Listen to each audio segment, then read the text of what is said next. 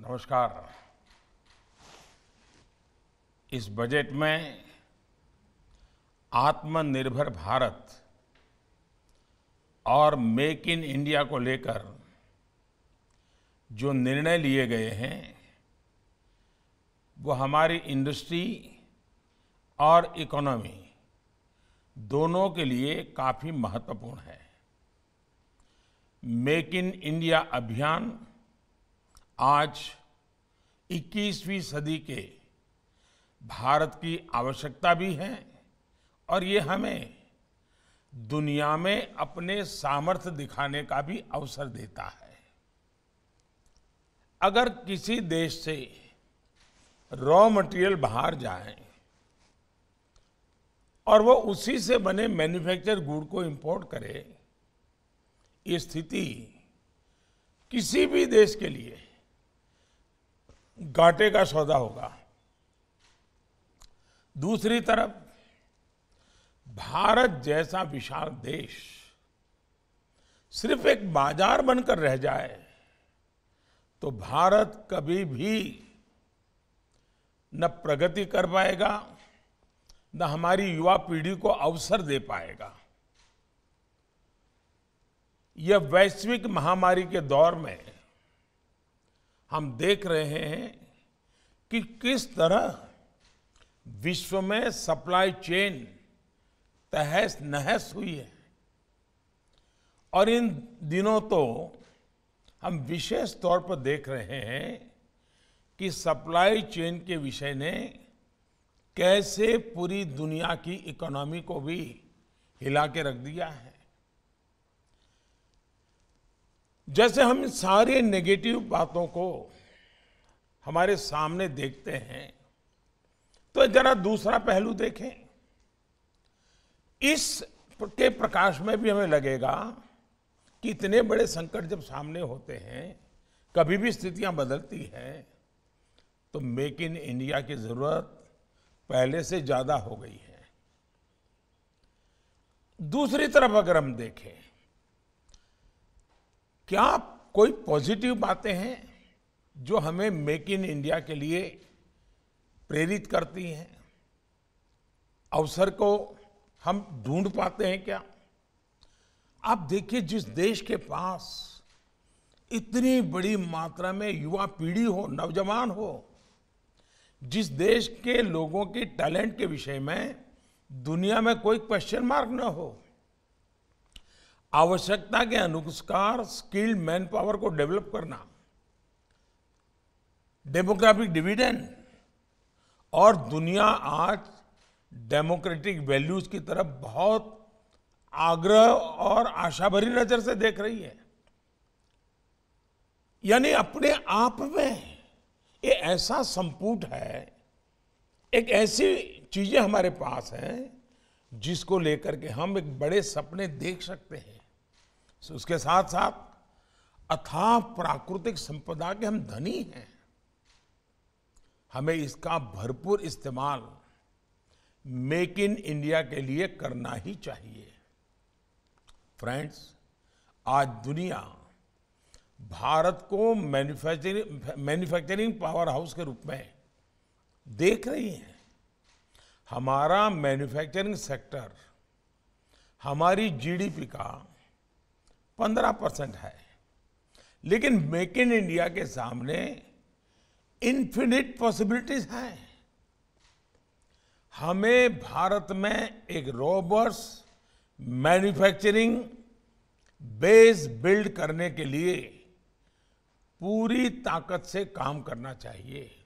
चाहे केंद्र सरकार हो, राज्य सरकार हो, स्थानीय स्वराज की संस्थाओं के नियम हो प्राइवेट पार्टनरशिप हो, कॉरपोरेट हाउस हो, हम सब देश के लिए मिलकर के कैसे काम करें? देश में आज जिसकी ज़रूरत है, जिसकी आवश्यकता बढ़ रही है, उसमें हमें मेक इन इंडिया को बढ़ावा देना है। अब दो चीज़ें हैं। एक, एक्सपोर्ट को ध्यान में रख करके सोचना। दूसरा, भारत की रिक्वायरमेंट को पूरा करने के लिए सोचना। चलिए मान लीजिए हम दुनिया में कॉम्पिटिटिव नहीं बन पा रहे हैं। लेकिन भारत की आवश्यकताओं में हम वैसा क्वालिटी मटेरियल दें ताकि भारत के लोगों को बाहर देखना न पड़े। ये तो हम कर ही सकते हैं। और इसलिए मैं चाहूँगा कि मेक इन इंडिया में हम इस, दूसरी बात है एक बार मैंने लाल किले से कहा था, ज़ीरो डिफेक्ट, ज़ीरो इफ़ेक्ट। हमारा प्रोडक्ट रत्ती भर भी डिफेक्ट वाला नहीं होना चाहिए। कॉम्पिटिटिव वर्ल्ड में क्वालिटी मैटर करती है। और दूसरा, आज दुनिया एनवायरमेंट कॉन्शियस है तो ज़ीरो इफ़ेक्ट एनवायरमेंट पे ज़ीरो इफ़ेक्ट, ये दो ऐसे मंत्र हैं जो हमें दुनिया में क्वालिटी के कारण और ग्लोबल वार्मिंग के सामने चुनौतियों को निपटने के रास्ते के कारण हमें स्वीकार कर सकता है। उसी प्रकार से आज जिस प्रकार से टेक्नोलॉजी बदली है, जिस प्रकार से कम्युनिकेशन वर्ल्ड में ज़बरदस्त रिवॉल्यूशन आया है, अब जैसे सेमीकंडक्टर अब सेमीकंडक्टर के क्षेत्र में अब हमारे लिए आत्मनिर्भर बने बिना कोई चारा ही नहीं है। मेक इन इंडिया के लिए मैं मानता हूँ एक नया क्षेत्र, नई संभावनाएँ लेकर के आया है। हमें ये दूर का देखना चाहिए। साथ साथ हमारी ज़रूरत भी है। देश की सुरक्षा के लिहाज से सोचें तो इस पर हमारा ध्यान होना और ज़्यादा ज़रूरी है। हम देख रहे हैं कि कैसे ईवी इलेक्ट्रिक व्हीकल्स के क्षेत्र में लोगों का आकर्षण भी बन रहा है एनवायरनमेंट के दृष्टि भी बन रहा है, और डिमांड भी बढ़ रही है। क्या भारत उसमें इनोवेशन नहीं कर सकता? मेक इन इंडिया मैन्युफैक्चर नहीं कर सकता है? क्या भारत के मैन्युफैक्चरर्स इसमें अपना लीड रोल नहीं कर सकते हैं? मैं समझता हूँ कि मेक इन इंडिया की भावना के साथ हमें आगे बढ़ना चाहिए। कुछ विशेष प्रकार की स्टील के लिए भी भारत आयात पर निर्भर है। हमारा आयन और विदेश जाए। और हम उन्हीं देशों से एक क्वालिटी स्टील के लिए हम फिर से इंपोर्ट करें। अब ऐसी तो कैसी स्थिति है कि भाई हम उस आयन और से उस स्टील को न बनाएँ जो हमारे देश की ज़रूरत है। मैं समझता हूँ कि ये हमारा कर्तव्य भी बनता है। और मैं उद्योग जगत के लोगों से आग्रह करूँगा कि आइए ये कच्चा माल आयन और बाहर बेच बेच करके हम क्या देश को देंगे? साथियों, भारतीय मैन्युफैक्चरर्स को ये देखना चाहिए कि देश की निर्भरता बाहर पर कम से कम हो, कम से कम हो। इसलिए इस क्षेत्र में भी मेक इन इंडिया आज समय की मांग है। एक और सेक्टर, मेडिकल इक्विपमेंट्स का है। बाहर बहुत सारे ज़रूरी मेडिकल हम उसके लिए जो आवश्यक इक्विपमेंट्स होते हैं, बाहर से मंगवाते हैं। अब क्या हम मेडिकल इक्विपमेंट नहीं बना सकते? मैं नहीं मानता हूँ कि इतना कठिन काम है। हमारे लोगों में उतना सामर्थ्य है, कर सकते हैं। हम उस पर ज़ोर दे सकते हैं क्या? हमें ये समझना ही होगा कि कोई चीज़ मार्केट में उपलब्ध होना। मतलब हम संतुष्ट हो जाए, भाई लोगों की रिक्वायरमेंट पूरी हो रही है, बाज़ार में चीज़ें मिल रही है। लेकिन वो बाहर से आई हुई चीज़ें और मेक इन इंडिया प्रोडक्ट ये उपलब्ध हो और वो जब वो देखें और उसका मन करना चाहिए, भाई भाई बाहर वाले से तो ये हमारा अच्छा है, हमें ये लेना है। ये स्थिति हमें पैदा करनी चाहिए जी। और ये फ़र्क नज़र आना चाहिए। अब देखिए, हमारे यहाँ इतने त्योहार होते हैं।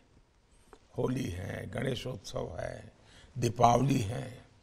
इतनी सारी चीज़ें इन त्योहारों में बहुत ही बड़े स्केल पर उसका एक मार्केट होता है। स्केल बहुत बड़ा होता है और वो छोटे छोटे छोटे लोगों की रोजी रोटी का अवसर देता है। लेकिन आज वहाँ पर भी विदेशी चीज़ों ने अपनी जगह बना ली है। अब ये पहले सारी चीज़ें हमारे लोकल मैन्युफैक्चरर्स इस डिमांड को पूरा करते थे और बहुत अच्छे ढंग से करते थे। अब समय बदलते हुए उसकी चीज़ों को बदलना चाहिए। पुराने ढरे में हम नहीं रह सकते हैं। और मैं चाहता हूँ कि उसमें आपने लीड लेनी चाहिए। और जब मैं बहुत vocal for local vocal for local के लिए बोलता रहता हूँ तो मैं देख रहा हूँ कि कुछ लोगों को लगता है कि दिवाली के दिए, ये खरीदना मतलब वोकल फॉर लोकल हो गया। भाई ये मैं दिवाली के दियो के लिए नहीं कह रहा हूँ। ऐसी बहुत सी चीज़ें हैं जी। थोड़ा नज़र करें। मैंने एक छोटा सा विषय एक दिन रखा था। आप भी जो मेरे सेमिनार में है ना, एक काम कीजिए, आप अपने बच्चों के साथ बैठिए। अपने घर में सुबह से शाम तक जिन चीज़ों का उपयोग करते हैं, उसमें कितनी चीज़ें हैं जो आप भारत की उपयोग नहीं करते हैं? और अनिवार्य रूप से विदेशी लेनी ही पड़ेगी, उसको अलग कीजिए। और फिर देखिए, आपको भी चौंक जाएँगे कि हम क्या कर रहे हैं। और इसलिए मैं मैं जो मैन्युफैक्चरर्स हैं, उनको भी मैं ऑन बोर्ड लाना चाहता हूँ। साथियों, एक और विषय है, भारत में बने प्रोडक्ट्स की ब्रांडिंग का। अब मैं तो देख रहा हूँ, हमारी कंपनियाँ अपने प्रोडक्ट की बहुत सारी एडवर्टाइजमेंट देते हैं। किसी एडवर्टाइजमेंट में दबाव से वोकल फॉर लोकल की बात नहीं बोलते हैं मेक इन इंडिया की बात नहीं बोलते हैं। आप अपनी एडवर्टाइजिंग करते हैं तो साथ साथ इसको भी बोलिए ना। क्या चाहता है आपका? आपका तो माल बिकने वाला है।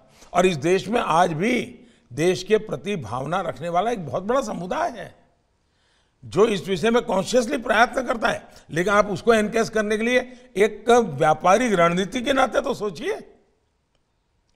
आप आपकी कंपनी जो प्रोडक्ट बनाती है, उसको लेकर आप खुद भी गर्व कीजिए और लोगों को भी गर्व करने के लिए प्रेरित कीजिए।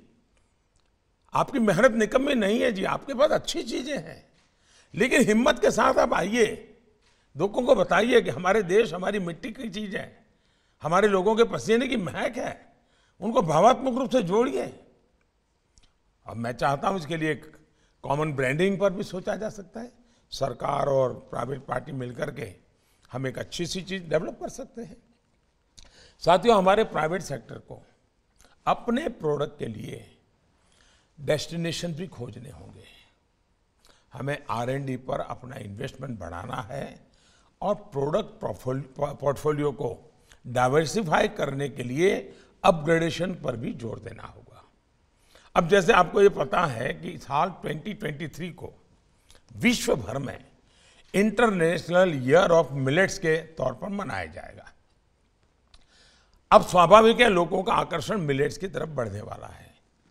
क्या भारत के मिलेट्स दुनिया के हर डाइनिंग टेबल पर कुछ न कुछ पहुँचे, ये सपना हिंदुस्तानी का नहीं होना चाहिए। हमारा छोटा किसान हमें कितना आशीर्वाद देगा? और उसके लिए उस देश के जो टेस्ट है, उस प्रकार से हमारे मिलेट को दिखना, उस प्रकार से हमारे मिलेट को वहाँ पहुँचाना, ये काम हम कर सकते हैं। और मुझे लगता है कि इसको हमने करना चाहिए। आप ज़रूर इसमें सफल हो सकते हैं। दुनिया के बाजारों का स्टडी करके ज़्यादा से ज़्यादा प्रोडक्शन और पैकेजिंग के लिए हमें अपनी मिलों को अभी से ही तैयार करना चाहिए। माइनिंग कोल डिफेंस ये ऐसे सेक्टरों के खुलने के भी काफ़ी नई संभावनाएँ बनी हैं। क्या हम अभी से इन सेक्टर्स के द्वारा होने वाले एक्सपोर्ट के लिए कोई रणनीति बना सकते हैं? आपको ग्लोबल स्टैंडर्ड्स भी मेंटेन करने होंगे और ग्लोबली कॉम्पीट भी करना होगा।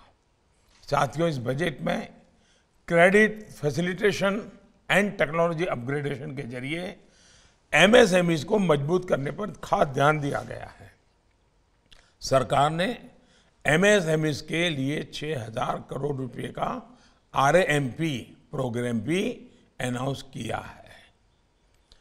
बजट में लार्ज इंडस्ट्री और एमएसएमई के लिए, किसानों के लिए नए रेलवे लॉजिस्टिक प्रोडक्ट्स डेवलप करने पर भी ध्यान दिया गया है। पोस्टल और रेलवे नेटवर्क के इंटीग्रेशन से स्मॉल एंटरप्राइज और रिमोट एरियाज़ के कनेक्टिविटी की दिक्कतों का समाधान होगा। हमें इस क्षेत्र में इनोवेटिव प्रोडक्ट्स विकसित करने हैं और इसमें भी आपका सक्रिय योगदान आवश्यक है। रीजनल मैन्युफैक्चरिंग इकोसिस्टम को प्रमोट करने के लिए पीएम डिवाइन स्कीम बजट का एक हिस्सा भी है, जो विशेष करके नॉर्थ ईस्ट के लिए है। लेकिन इस कल्पना को हम देश के अलग अलग रीजन में अलग अलग तरीके से इसका भी एक मॉडल डेवलप कर सकते हैं। स्पेशल इकोनॉमिक जोन एक्ट में रिफॉर्म से हमारे एक्सपोर्ट को काफ़ी बूस्ट मिलेगा और मेक इन इंडिया की ताकत बढ़ेगी। एक्सपोर्ट को बढ़ाने के लिए हम अपने वर्तमान एस की कार्यप्रणाली में किस तरह के परिवर्तन कर सकते हैं, इस बारे में आपके सुझाव अहम होंगे।